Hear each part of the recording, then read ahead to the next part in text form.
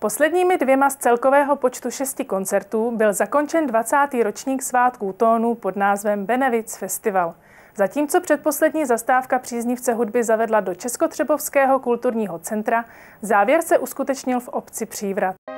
Kulturní centrum Česká Třebová se rozeznělo dílem, které mělo uctít z té výročí vzniku Československa. Má vlast Bedřicha Smetany byla sice skomponována o něco dříve, to však nic nemění na tom, že publikum si vrcholné dílo litomyšlského rodáka mohlo vychutnat v podání komorního orchestru Jaroslava Kociana. Ten doplnila dechová sekce členů Filharmonie Hradec Králové. Vše řídil dirigent Bohuslav Mimra.